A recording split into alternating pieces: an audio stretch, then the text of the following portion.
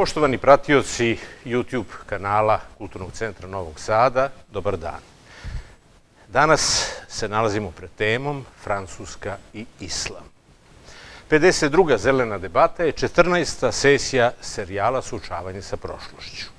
Posvećena je aktuelnim dešavanjima u Francuskoj, koja traga za adekvatnim odnosom prema ekstremizmu, ali je pritom na ivici da novim merama i najavljenim zakonom o islamskom separatizmu zapravo naruši jedan vek neutralnog odnosa države i religijskih zajednica. Govorit ćemo o tome koliko se pored načina ispoljavanja islama na tlu Evrope u novije vreme društveno menjala i najsekularnija evropska država. Da li je sloboda izražavanja većinskog dela društva ipak ograničena osjećanjima manjine ili je etnička tolerancija među Francuzima zauvek pase? Da li je Francuska kao najsekularnija država Evrope istovremeno i najgrađanskija država iste ili je Republika ipak par excellence nacionalna država u građanskom ruhu? Otkrivaćemo da li su predviđanja politikologa Samuela Huntingtona o neminovnom sukobu civilizacija i Andreja Malroa o islamu kao nužno potrebnom neprijatelju Ujedinjene Evrope zapravo tu da sukobe sprečimo ili da ih prizovemo. Ne dovodeći u pitanje potrebu obračuna sa terorizmom i ekstremizmom, upoznaćemo se sa manje poznatim istorijskim činjenicama koje bacaju objektivnije svetlo na aktuelna dešavanja. Tematski, ova sesija se manjim delom nastavlja na našu martovsku priču o francuskom Alžiru. Budućnost je tako neizvesna da je često precenjena. Ništa se ne dešava bez prošlosti.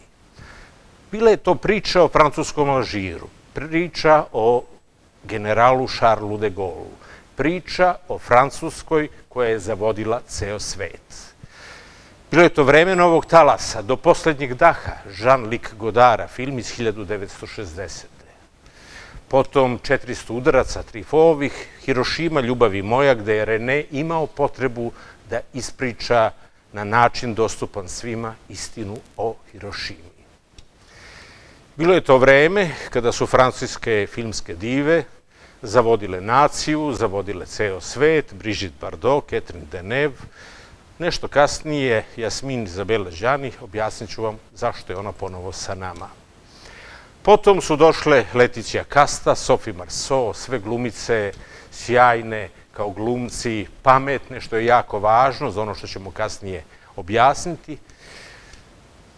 I sve na neki način nalik simbolu Francuske republike. Nalik Marijani, koja je ovde na slici je žena Delacroix, Slika se zove Sloboda, predvodi ljude i svima vam je dobro poznata. Obratite pažnju na ovu sliku. Imate gospodina u cilindru, imate Marijanu u žutoj haljini, ogoljeni grudi, imate dečkića, buntovnika sa desne strane. Dakle, ova slika vrlo jasno dočarava bes, nezadovoljstvo, pobunu potlačenih delova francuskog društva. Francuzi će 1855. godine pokloniti Americi kip slobode, kako mi kažemo, a njegov pravi naziv je Sloboda osvetljava svet. Prva poratna Marijana koja je ponela tu titulu bila je Brigitte Bardot. Nju je lično predsednik Republike, general de Gaulle, zamolio da to učini. Međutim, neke žene nikada neće postati Marijane. Današnja Marijana je virtuelna Marijana, pardon, današnja Marijana je virtuelna Marijana, nije više stvaran lik. Jedna crna Marijana u jednom malom francuskom gradiću je neprihvatljiva. Novi gradonačelnik je rekao da ona može biti simbol slobode, ali ne može biti simbol republike. Ni Izabela Đani je jedna od redko zavodljivih i lepih žena koja nikada nije bila Marijana. Da li je njeno alžirsko poreklo tome razlog, otkrivaćemo.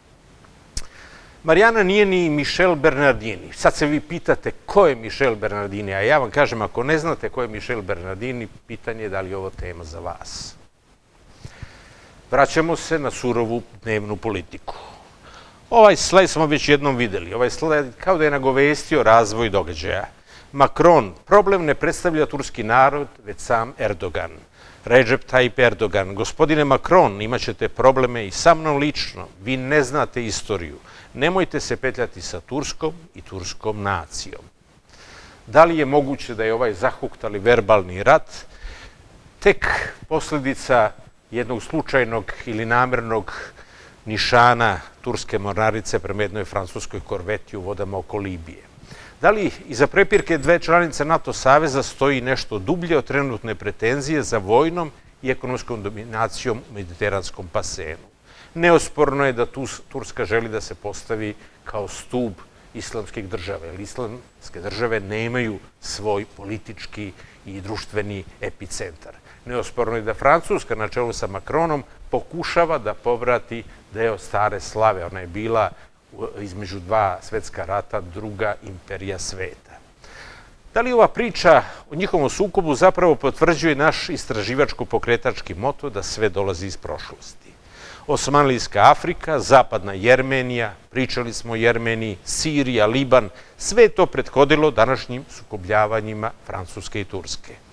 Za sada ti sukobi se vode na verbalno-trgovinskom nivou. Turska je, kao i mnoge muslimanske zemlje, zbog francuskih poteza, koje tumače kao usmerene protiv islama, zapretila bojkotom francuske robe. Francuzi za sada nisu spremni da uzvrate. I ranije su u Istanbulu bojkotovali francuska vina i sireve. Bilo je to kada su Francuzi usvojili obavezujuću rezoluciju o genocidu nad Jermenima, o tome smo govorili. Ipak, taj bojkot pre svega ima za sada političke poruke jer ekonomska razmena dve države nije prevelika, s obzirom da lista proizvoda koja se bojkotuje nije jako značajna, političke poruke su u prvom planu. Dakle, iza tih pompeznih pretnji su mali ekonomski efekti. Sve će se verovatno završiti tako što će gospođa Erdogan svoju Hermes torbicu vrednu 50.000 eura odložiti na neko vreme. Gospođu Erdogan vidimo u hijab amiri. Objasnit ćemo kasnije šta je hijab amira. Takođe, u Francuskoj modni kreatori će možda malo manje se baviti islamom kao izazovom i provokacijom, dok se cijela situacija ne stiša. Prognoza moja je da će se otprilike završiti za sada na tome. Kad smo već otvorili priču o hijab amiri, ovdje vidite vrste muslimanskog pokrivanja žene. Od šejle, obične marame, preko hijaba, iako je ovo hijab u užem smislu, u širem smislu, hijab predstavlja e, želju, volju žene da e, svoje dragocenosti sakrije od nepoznatog sveta, naročito muškog. Dakle, ispoljava se skromnost, ispoljava se moralnost, ispoljava se jedno versko ubeđenje koje nije Kuranom predodređeno, ali je šerijatskim pravom spomenuto. Pored hijaba mire koja se nosi u Turskoj, ovde imate i himar, pa imate čador, kao grtač koji ne, ne ide preko lica, ali se može rukom zakloniti, on je često u Iranu. Potom imate nikab gde se samo oči vide, koji se često koristi u Pakistanu. I kao najekstremniji a, a, odevni detalj, odnosno kao predmet, imate feređu ili burku. Dakle, gde je celo telo zaklonjeno, a oči gledaju kroz mrežicu. Generalno, se govori o hidžabu, o nikabu i o burki. Burka i nikab su zabranjeni u mnogim zemljama Evrope pa i sveta. Poslednja od njih je Šri Lanka. U Evropi je dosta zemalje zabranilo zato što se smatra da sakrivaju lice, da onemogućavaju identifikaciju i da su naprosto u vremenu u kome terorizam uzima sve veći danak ozbiljna pretnja. Hidžab i čador nisu zabranjeni za svakodnevno nošenje, ali je vrlo restriktivna politika u mnogim zemljama, pa i u Francuskoj o kojoj govorimo i gde je to predmet društvenih rasprava. Jednu takvu raspravu izazvala je mlada Marijem, 19 godina, koja je predsjednica Nacionalne unije studenta na Univerzitetu Sorbone u Parizu. Francuzi su dosta teško primili da je studentski lider sa hijabom predvodnik mladih Sorbone. Velika je polemika u javnosti bila, ovde vidite karikaturu Charles Hebdo koji smatra da je pravo da ismeva sve i svakoga, pa i islam i e, muslimane, e, i ovu priliku je za to iskoristio. U jednom šou gde se mladi talenti takmiče u pevanju, ova mlada devojka je napustila takmičenje, ako kažu da ima anđeoski glas, jer su komentari i pritisak zbog skromnog hijaba na glavi bili takvi da je odustalo daljeg učešća. Ovo je ilustracija dole koja govori onome što ste verovatno čuli, o nizu lokalnih zabrana burkinja na plažama Francuske. To su bile zabrane lokalnih vlasti koje je kasnije sud ukinuo. Međutim, Francuska ima svoj kodeks, svoj laički moral.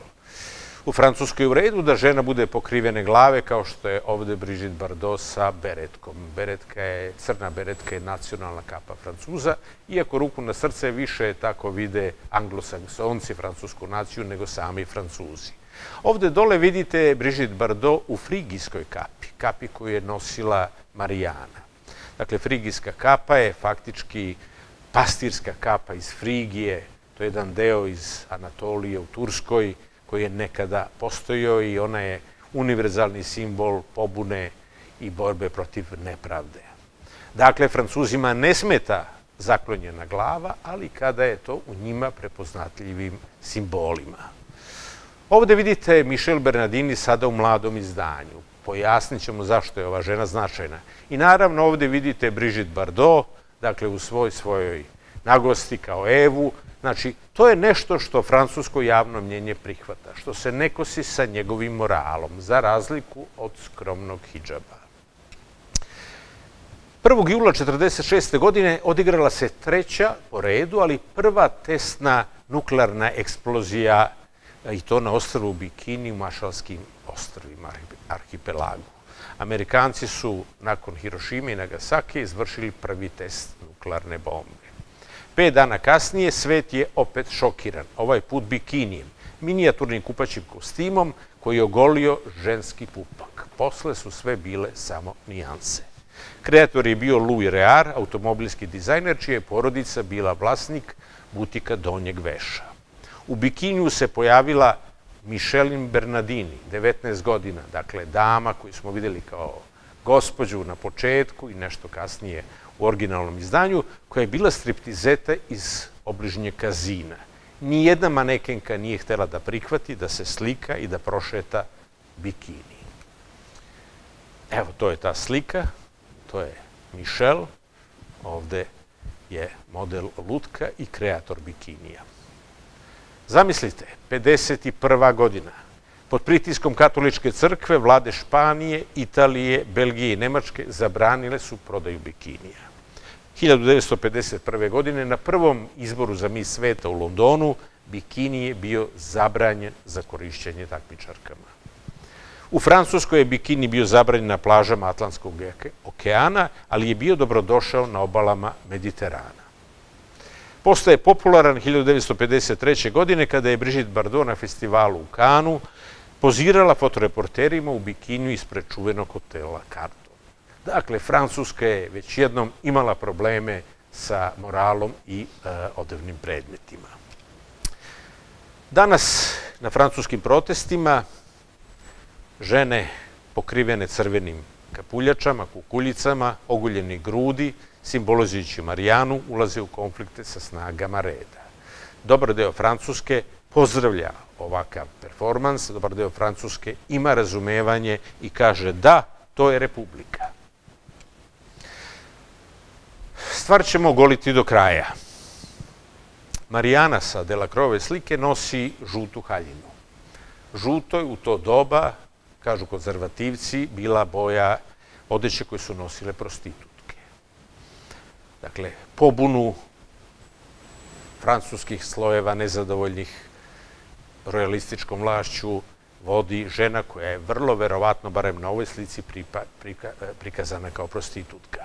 Jedna striptizeta obeležila je novo doba u Francuskoj, a jedna glumica, slobodna i zavodljiva, je utvrdila to doba kao doba koje se vezuje za, za Francusku republiku.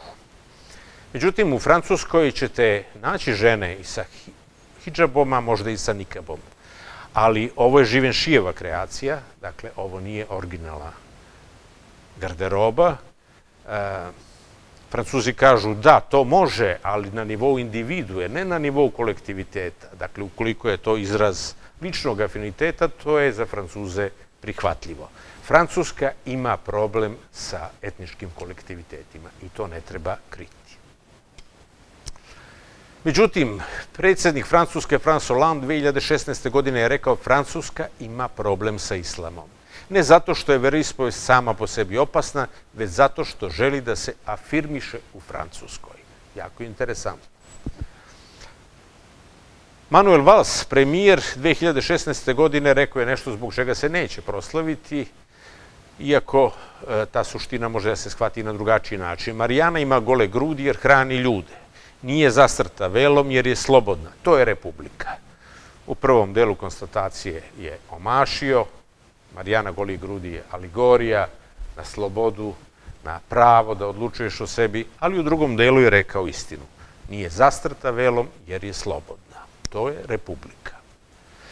Brigitte Bardot je 2019. godine rekla nisam se borila protiv francuskog Alžira da bih prihvatila alžirsku Francusku. Očajna sam, oni su svuda. Francuski ministar unutrašnjih poslova je pre desetak, 15 dana izjavio da je užasnut, da je šokiran i da u marketima ne trebaju biti police sa halal i košer hranom. Halal i košer hrana je hrana prilagođena verskim standardima muslimana i jevreja. Ono što je interesantno, francuski ministar unutrašnjih poslova je Gerald Musa Darmanin, dakle čovek poreklom Alžirac, mislim da je po majci Alžirac, koji bi trebao da ima deo razumevanja. Ja lično ne vidim problem zašto rafovi sa pojedinom hranom ne bi bili u marketima. To je potpuno lična stvar i percepcije i odluke. Ali očigledno da Francuska ima problem sa islamom. Deo tog problema je relativno i razumljiv. Ovde na slici Saint-Denis, bazilika Svetog Denisa. To je kraljevska nekropola Francuske. Od 10. veka do 1789. godine, dakle do Francuske revolucije, samo tri francuska kralja nisu sahranjena na ovome mestu. Saint-Denis je danas pretežno muslimansko predgrađe Pariza. A sada idemo u jedan istorijski niz odnosa francuske države i religije. Da vidimo kako se francuska država na određeni način obračunala i uspostavila odnose sa izvornim religijama svog stanovništva. 1789. godine, nakon revolucije, Francuska je bila prva zemlja koja je usvojila deklaraciju o pravima čoveka i građanina. U članu 3 te deklaracije se kaže princip svakog suvereniteta su, suštinski počiva u naciji. Laicizacijom principa suvereniteta vrši se desakralizacija vlasti. Član 10 kaže niko ne može biti uznamiravan zbog svojih ubeđenja, čak ni verskih, pod uslovom da njihovo ispoljavanje ne narušava javni red utvrđen zakonom. Ovo je važno. Ovo zapamtite kada razmišljate o odnosu Francuske republike prema islamu i njegovom ispoljavanju. Pod uslovom da njihovo ispoljavanje ne narušava javni red utvrđen zakonom ko piše zakon, ko utvrđuje javni red. To je ključan deo ove rečenice. Međutim, tada se desio jedan detalj koji će meni dati pravo ideju da o tome razmišljam i na današnjem nivou. Velika francuska revolucija je tada stvorila sobstvenu civilnu religiju. Civilna religija se zasniva na kultu razuma koji će kasnije biti zamenjen kultom vrhovnog bića. Rekao bih da se istorija u nekim detaljima ponavlja. 1905. godine donet je zakon o razdvajanju crkava i države. To je bio zapravo laički pakt o međusobnom dogovoru i saradnji, a ne o sukobljavanju. Laički moral postaje opšta vrednost društvenih odnosa. Vremenom se javljaju potrebe za redefinisanjem laičkog morala, što čini da je laicitet nepresušan izvor predloga za izmenu javnih politika. Kako bismo rekli šta je laicitet, da to se može e, lako shvatiti. Dakle, to je neka vrsta odnosa da ne postoji državna religija, ali ne postoji ni državni ateizam. To je prostor gde između crkve i politike država kvalitetno posreduje. Međutim, laički pakt o kome govorim iz 1905. godine nema odgovor na savremene dileme vezane za islam. Otud i niz novih zakona, i zabrana. Neke od njih tretiraju obrazovanje kao najosetljiviji segment francuskog društva, kome Francuska mnogo e, pažnje poklanja. Međutim, cilj laičke škole ne bi trebao da bude ekskomunikacija religije iz e, obrazovanja. 2004. godine donet je zakon da se svi odevni predmeti koji očito predstavljaju religiozno uverenje, dosta široko e, i nejasno, kao što su, na primer, islamska marama, jevrijska kipa i veliki hrišćanski krstovi, turbani, induse i sika, zabranjuju u svim javnim školama. Obrazloženje je vrlo jednostavno. Postoje pravila ponašanja i kao što postoje pravila ponašanja u crkvama, u džamijama, tako moraju postojati pravila ponašanja i u školama. 2011. godine zakon zabranjuje prekrivanje lica na javnom mestu i predviđa kazne do 150 evra. Ovaj zakon je podržan od strane Evropskog suda kao osnaživanje suživota.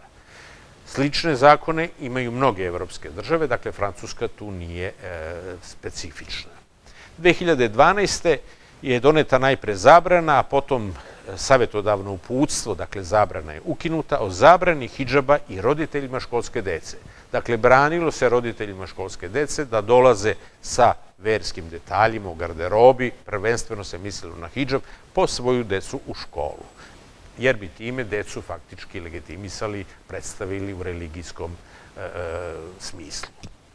2020. Macron najavljuje predlog zakona o islamskom separatizmu. Predsjednik Francuske kaže, islam je religija koja je u celom svetu u krizi jer mora da se izbori sa fundamentalizom. Islam u Francuskoj mora biti oslobođen stranog uticaja. Macron je rekao da je manjina od 6 miliona francuskih muslimana, toliko ih danas živi u Francuskoj, i oni čine drugu po brojnosti religijsku grupu u velikoj opasnosti od formiranja kontradruštva. Šta je specifičnost Francuske? Zašto smo i uzeli Francusku da obrađujemo? Zato što Francuska ima takav broj muslimana kakav nema ni jedna druga zemlja. Ti muslimani su najvećim delom državljani Francuske. Dakle, ne radi se o migrantima koje mi danas gledamo, pratimo, njih ima, ali u daleko manjem broju. Otkud milioni muslimana u Francuskoj, otkud milioni građana Francuske, veći deo sa francuskim državljanstvom, koji su nezadovoljni svojim statusom, otkrićemo. Macron kaže, laicitet je osnova Ujedinjene Francuske, a predloženi zakon će imati za cilj da obezbedi da javni život u Francuskoj odražava vrednosti državnog laiciteta, vekovnog pravnog principa koji je razdvajao crkvu i državu i nalagao neutralnost prema religiji. Tu je ključno pitanje Da li je ovo što danas Francuska pokušava neutralnost prema religiji ili je pak mešanje države, odnosno politike, u religijsku sferu? Macron je međutim priznao da je francuska država delimično odgovorna za getoizaciju zajednica sa velikim brojem muslimanskih stanovnika.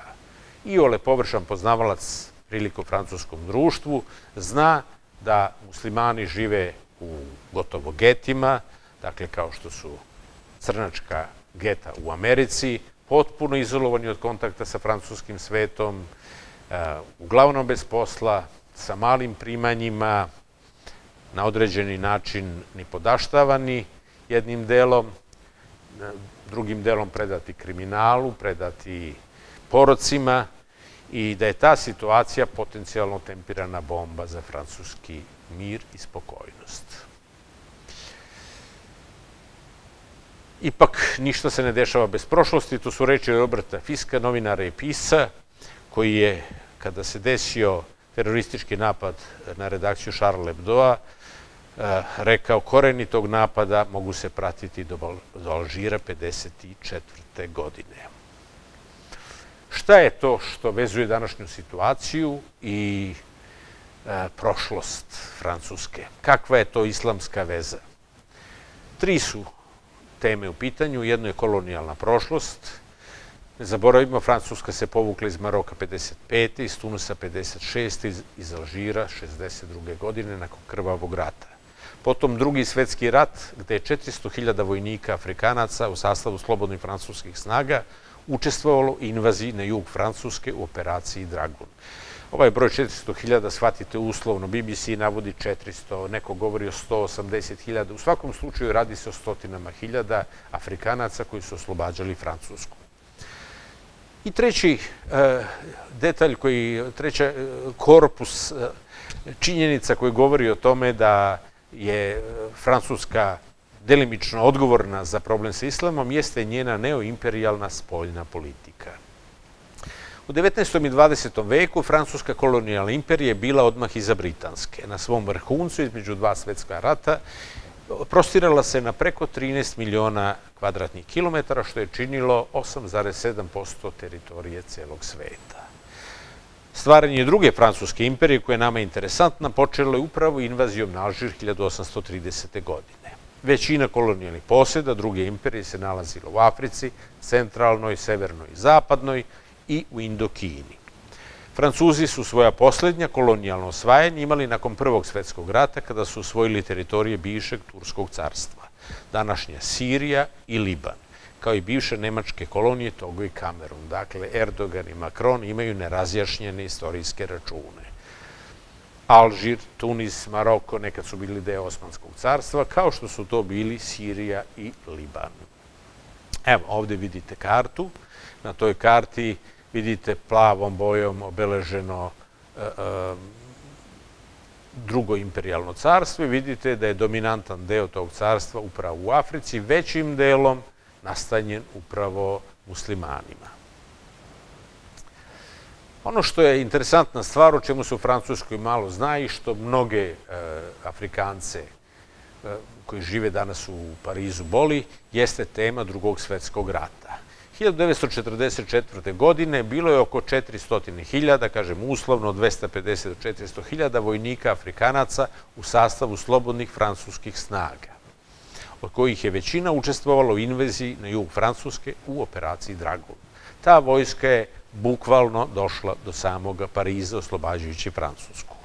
90% tih vojnika su bili muslimani, a od toga najmenje 170.000 njih je bilo iz Alžira. I pored velikog doprinosa oslobađanju Francuske, Pariz je nastava kolonijalne eksploatacije smatrao prirodnom formom društvenih odnosa. Napokon ove godine, upravo zbog konflikta koji traje, Ministarstvo odbrane je sačinilo spisak od 100 imena afričkih oslobodilaca kojima će se nazvati trgovi i ulice u Francuskoj. Do sada to nije bila praksa. Recimo da je ovaj istorijski dug jedan od razloga velikog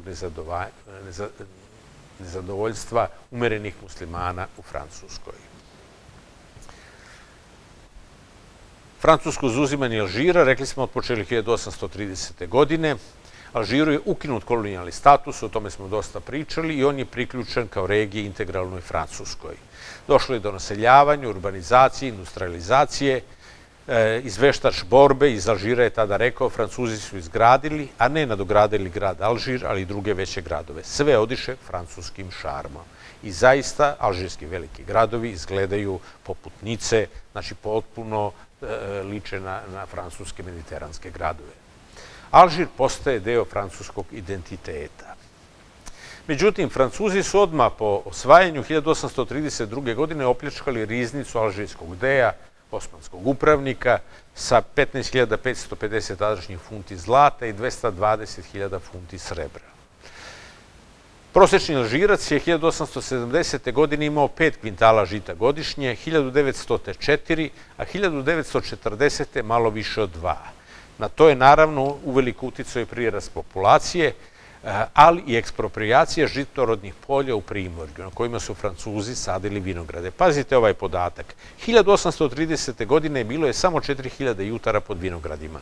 1950. preko 750.000 jutara. Dakle, klima Alžira sa planinama u zaleđu, mediterarnom ispred, bila je idealna za vrhunska vina, ali to je imalo svoju cenu u socijalnoj bedi stanovnika. Pa je tako, na primer, gušena lokalna proizvodnja, te tkalačko središte u gradu koji se zove Tlemesen, u 14. veku imalo 4000 ručnih razboja, 1850. bilo ih je 500, a 54. godine tačno 105. Pored ekonomskih nejednakosti, eksploatacije, politika kulturnog počinjavanja išla je toliko daleko da arapski nije bio dopušten kao službeni jezik u obrazovnim ustanovama. Niti su ga deca mogla učiti u školama. Dakle, da li shvatate da i ovde leže koreni današnjeg nerazumevanja, današnjeg nezadovoljstva. Broj Alžiraca je sa 1,5 miliona u vreme invazije narasto na 10 miliona. Počela je pobuna, počeo je otpor, a Francuska je angažovala 500.000 vojnika. Sve mu ovome možete čuti u predavanju koje se zove Francuski Alžir. Tada smo spomenuli da je došli do masakra u Parizu, koji valja još jednom pomenuti. Dakle, nenaoružani demonstranti, njih oko 30.000, prekršili su policijski čas koji je bio određen samo za Alžirce i na one koji liče na njih. I tik po probijanju, tog termina, oko 1700 instruiranih pripadnika snaga, snaga reda otpočela je nezamislivo brutalnu akciju. Mirne demonstrante na komande uzdignutih ruka policija je mučki tukla, otvarajući vatru na sve sumnjive pojedince. Oko 10.000 ljudi alžirskog porekla ili lica koje posjećaju na njih autobusom je prisilno odvezeno na biciklistički stadion u blizini Eiffelove kule. Isti onaj stadion na kome su sakupljani jevreji tokom drugog svetskog rata. Bulonska šuma bila je puna leševa, desetine mrtvih izmučenih tela su plutale na površini Sene. Zvanična verzija izveštavala dva mrtva demonstranta. Dakle, mi govorimo o neumerenoj, brutalnoj sili, o zločinu francuskog državnog aparata 1961. godine. To peče, to boli. Dakle, ovo je nešto što je takođe kamen spoticanja u islamsko-francuskim odnosima. Tek 2001. godine francuska vlada je priznala da se desio masakr i postavila ploču na kojoj stoji natpis u znak sećanja na brojne Alžirce ubijene tokom krvavog suzbijanja mirnih demonstracija 17. oktobra 1961. godine. Podaci koji sam vam izneo, opis događaja koji sam vam izneo, jeste zvaničan opis francuskog radija. Bio je to bezimeni rat i događaj. Prema francuskim podacima stradalo je negde oko 350.000 alžirskih e, civila, muslimana. Prema alžirskim podacima 1,5 milion, stotine hiljada vojnika, hiljade vojnika sa francuske strane.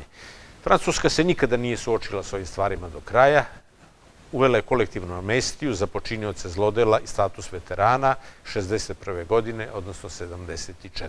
godine. Došlo je do strašnih migracija pomeranja. Jedan preko 1 milion ili 10% populacije Pjednoir e, je došlo iz Alžira u Francusku. E, među njima Albert Camus, Yves Saint Laurent, to su dakle bili ljudi francuskog porekla, francuzi, italijani, ljudi bele puti, tako reći, koji su živjeli u Alžiru, koji je bio deo Francuske. Izabel Jasmina Đani, koju smo ovde spominjali, ranije spominjali, dakle ona je potomak tih ljudi. Zajedno sa njima došli su Harki, izvorni Alžirci, muslimani, ljudi koji su se borili na strani Francuza u mnogo ratova. Njih 150.000 je bilo na službi u francuskim snagama. Negde između 30 do 60.000 bili su žrtve surove odmazde, odmazde alžirskog pokreta oslobođenja nakon sporazuma u Evijanu. Oko 90.000 je sa porodicama uspelo da pređe u Francusku, upreko zabranama od strane Pariza. Zapamtite, Pariz je branio prelazak i ovih ljudi u Francusku, iako su do poslednje kapi krvi branuli Francusku republiku. Živeli su u logorima, isključeni iz društvenog života, prezreni od svih. Danas njihova zajednica na jugu broji oko 500.000. Mislim da je današnji ministar unutrašnjih poslova potomak ljudi koji su na ovaj način došli. Da je Goli bio dosta surov 62. godine, rekao je pa patiće, računajući da neće doći u Francusku. Širak je 2001. uveo dan nacionalnog priznanja, Macron je 2018. im dao javno priznanje i oformio fond podrške od 40 miliona evra. Međutim, francuski parlament 2005. godine je usvojio zakon koji veliča francuski kolonijalizam. Zvaničan stav značajnog dela francuskog društva, naročito centra i desnog centra i desnice, e, iznele Marie Le Pen u kampanji 2017. Francuska okupacija Alžira je donela ove državi mnogo dobrog, dobronamerni Alžirci priznaju tu činjenicu. Neosporno da je svaka kolonizacija imala i svoje dobre strane, ali videli smo koja je cena toga. Francuzi se nisu suočili sa ovom svojom prošlošću, delili su lekcije drugima, ovde vidimo izjavu Žana Leonetija, ministra za evropskog pitanja, koji kaže svi narodi danas treba da budu lucidni i hrabri i da se suoče sa svojom istorijom. Ali ovo se odnosi na Jermene, dakle ne odnosi se na Alžirce. Novo dobe je došlo sa Emmanuelom Macronom, on je prvi francuski predsjednik rođen nakon sukuba Alžiru. I on je napravio značajan otklon, kažem, ovome možete čuti u, u priči o francuskom Alžiru. A sada ćemo malo se posvetiti e, neoimperijalnoj spoljnoj politici Francuske. Između 1960. i 1996. Francuska izvršila 210 nuklearnih proba. I po tome je e, samo iza Sovjetskog saveza i SAD-a. Prve probe su vršene u Sahari, u Alžiru. I postoje ljudi koji su bili žrtve radijacije koja je tamo izazvana. Francuska je uzimala učešće, negde delemično, negde potpuno, u razaranju najsekularnijih arapskih država, Libana, Iraka, Libije i Sirije. Ovo razaranje sekularnih arapskih država je jako važno zbog novih kretanja migranata s kojima se Evropa danas suočava. Pohlepa, potraga krupnog kapitala sa zapada, da ovlada svim resursima, jednostavno i da bude univerzalni princip po kome će organizovati svet, je izazvala gibanja sa nesagledivim posledicama. Francuski borbeni avioni su već skoro dve godine u međunarodnoj koaliciji koja vodi ofanzivu protiv islamske države u Iraku i Siriji. Sve ovo zajedno, sva ova vojna dejstva prave neprijatelje, pre svega u ekstremnim islamskim grupama, ali izazivaju očaj i bes i kod običnih ljudi. Francuska je učestvovala u bombardovanju Libije, zemlje sa najvišim indeksom humanog razvoja u celoj Africi. Kakav je Gaddafi bio lider, da li je bio diktator, da li je bio neobičan, da li je bio harizmatičan, da li je bio, e, e, e, uslovno rečeno, za posmatranje. Dakle, to je jedna tema, ali način organizacije života u Libiji, ako izuzmemo tumačenje o nedostatku demokratije, je bio takav da je po svim parametrima Libija bila zemlja sa najvišim indeksom humanog razvoja u celoj Africi.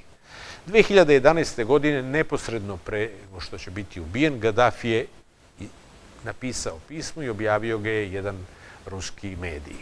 Slušajte me sad, vi ljudi iz NATO, bombardujete zid koji stoji na putu migrantima iz Afrike ka Evropi i teroristima Al-Kaide. Taj zid je Libija, vi ste ga razbili, vi ste idioti i gorećete u paklu zbog hiljada migranata iz Afrike i zbog podrške Al-Kaidi. To će biti tako, ja nikada ne lažem, ne lažem ni sada. Da li je pukovnik lagao, sami znate. Francuska se povukla iz Maroka 55. godine, iz Tunisa 56. godine i iz Alžira 1962. godine. Ali u celoj Africi zadržala ulogu koja je direktnija od uloge Velike Britanije u njenom nekadašnjem carstvu.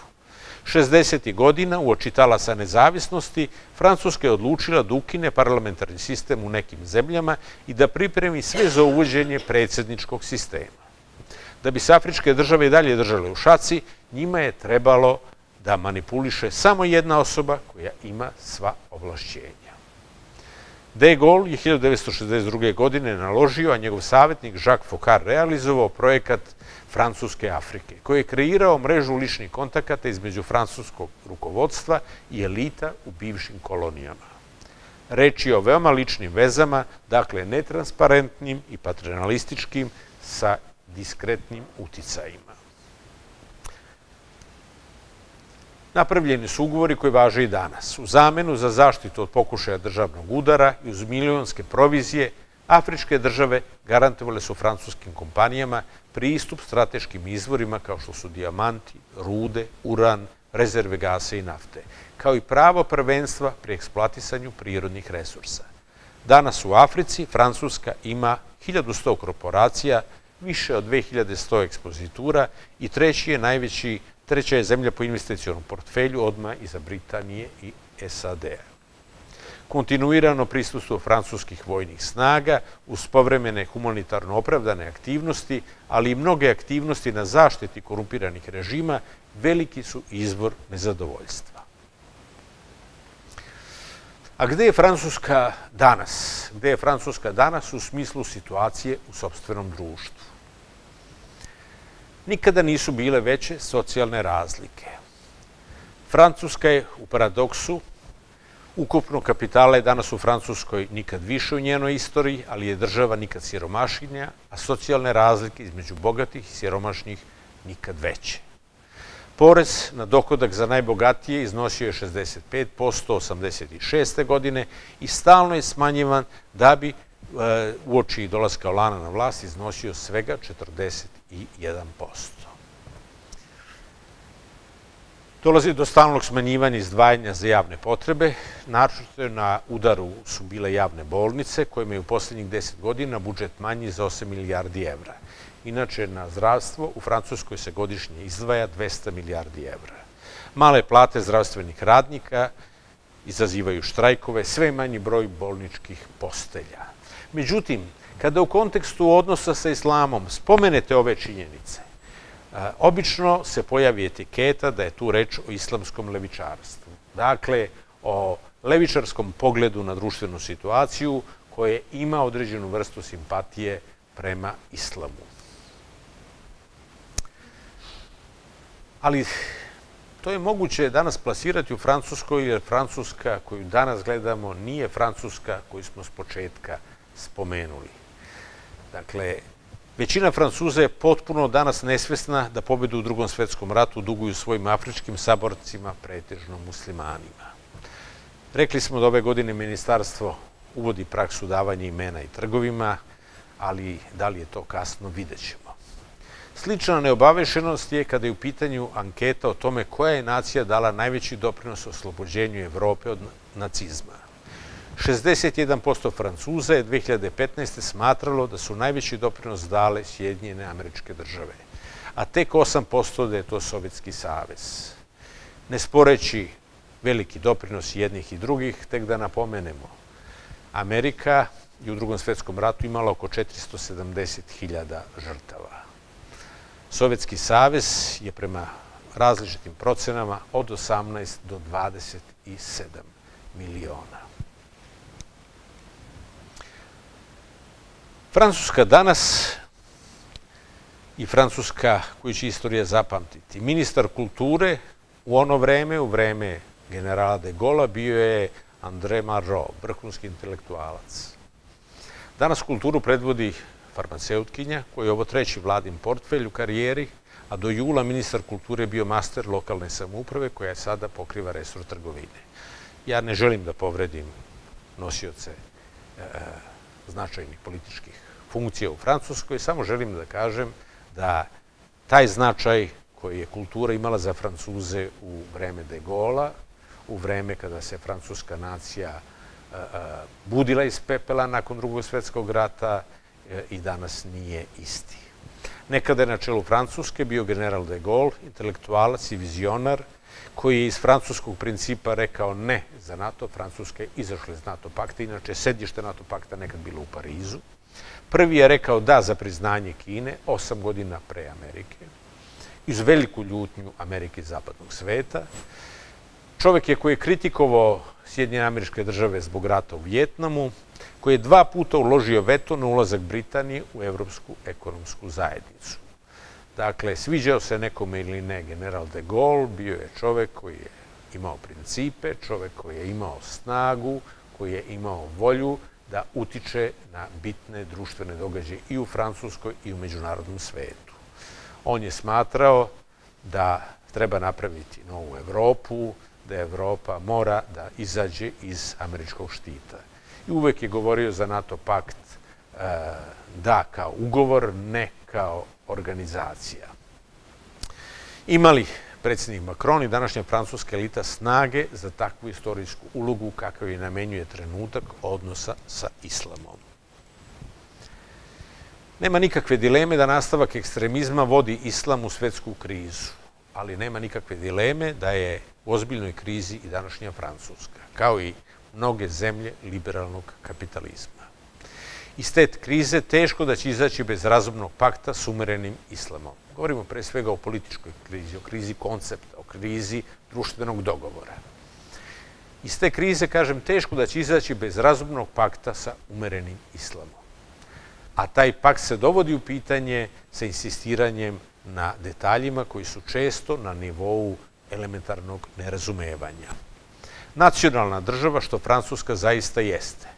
Dakle, za mene nema dileme da je Francuska nacionalna država. Ona je, eh, ona je zaodenuta u građansku religiju, zato što veliča pojedinca, daje pojedincu sva prava, daje pojedincu inicijativu, ali na nivou kolektiviteta ona ne prepoznaje nikoga drugog sem Francuze. Francuska je izrazito centralizovana država, jedini oblik eh, autonomije samouprave na Korzici. Korzika je do toga došla na dosta ekstreman način, međutim neki drugi primjeri na njenoj teritoriji govore kako se Francuska dosta surovo obračunala sa regionalnim pokretima, e, regionalnim jezicima, pre svega sa ekonomskim pritiscima, e, terala ih je da gravitiraju prema Parizu. Dakle, Francuska uvažava svakog pojedinca, bio on korzikanac, bio on e, musliman, dok je pojedinac. Čim se digne na nivo kolektiviteta, francuska država, francusko društvo ima problem sa njim. Zato kažem da nacionalna država, što Francuska jeste, sve jača vera njenih elita u moć krupnog kapitala, ovu bitku, bitku sa islamom, bez umerenog islama, teško može dobiti. Rekli smo, danas je 6 miliona e, muslimana u Francuskoj.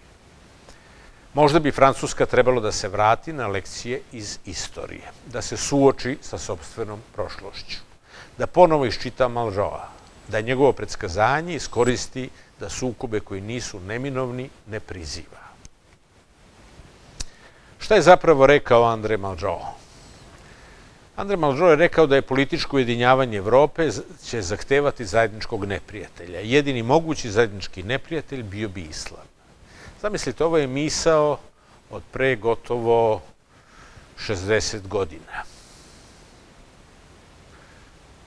Ministar kulture tadašnji, Andrej Malžov, koji inače bio sklon idejama levice, a De Gaulle je bio u mladosti rojalista, kasnije desničar, dakle, jedan i drugi su imali i potrebu i želju da zajedno rade na izgradnji francuskog društva, prepoznao je taj sukob, ali je prepoznao na neki način i mogućnost da se taj sukob prizove da bi se stvorilo nešto novo što je za njega ujedinjena Evropa. Malžo je inače kao jedan od redkih e, e, ljudi koji je promišljao na temu budućnosti politike e, i društvenih odnosa, predvideo da će 21. vek biti vek religije. On je još tada rekao da će ideologije ostati u 20. veku i da nas čeka vek religije. Dakle, čovek od analicitetu, čovek koji je učestvovao u izgradnje takvog društva, izrekao je takvu misao. Bio bih slobodan da kažem da je ta misao bila proročanska zbog toga što su se umeđu vremenu ideologije pretvarale na neki način u religije. Dakle, norme, zakoni, pravila, stalne promene, stalna tumačenja i tako dalje, dovele su do preteranog sputavanja e, onoga što je u početku izgledalo kao ideja društvene slobode, ideja društvenog dogovora. I onoga momenta kada su ideologije počele da dobiju religijske forme, kada je na neki način stvorena civilna religija francuskog društva koje veliča nacionalno kroz prava pojedinaca zaodenuta u građansko, tog momenta zapravo je došlo na neki način do upitnosti postojanja takve društvene ideje, takvog društvenog koncepta. E, iza Andreja Malžova sličnu misao izrašće i američki politikolog Samuel Huntington. On je bio dosta konkretniji, u svom delu Sukup civilizacija, mislim 96. godine da je to delo objavljeno, rekao je pretenzije Zapada koji je na zalasku, dakle zapadna civilizacija je po njemu na zalasku, na pretenzije Zapada na univerzalizam su u sukobu sa drugim civilizacijama, najpre sa islamom i sa Kinom. Islam je opisao kao um, prosto religiju koja paralelno sa uh, prirodnim priraštajem traži nove resurse, traži svoje prostor u savremenom svetu i, i on je takođe predvideo da će biti nužan sukob zapadne civilizacije koja je na određeni način i agresivna zbog svoje univerzalnosti, potrebe za univerzalnošću e, i islama. I tada je rekao sukup civilizacije najveća pretnja svetskom miru. Dakle, imamo dva vrhunska intelektualca koji su sve ovo već predvideli. Šta je danas na Francuskoj? Da ovo shvati kao predskazanje, koji upozorava da izbegne te sukobe ili da možda bude element interesa koji te sukobe prizivaju. U svakom slučaju, ono što vidimo na površini, a to je odnos prema ličnom, privatnom ispoljavanju islama, kroz odevne predmete, kroz police sa hranom i sve, čini mi se da je skretanje, nepotrebno skretanje pažnje sa fokusa. Fokus jeste ekstremni islam. U zakonu o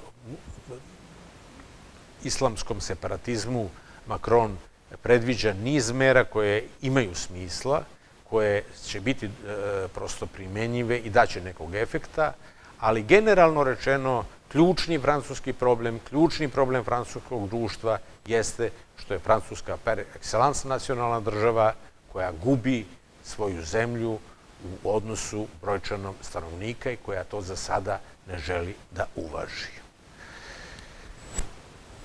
Sa tom idejom da Francuzi prilikom donošenja ovog zakona mogu da naprave mnogo dobrog, ali mogu i da zovu, izazovu e, niz novih problema. Ja bih završio ovo predavanje, pa bih rekao Malrov citat, budućnost je dar koji nam poklanja prošlost. A mi kažemo, budućnost je tako neizvesna da je često precenjena. Učimo se čitanju znakova kraj istorijskog puta. Ništa se ne dešava bez prošlosti.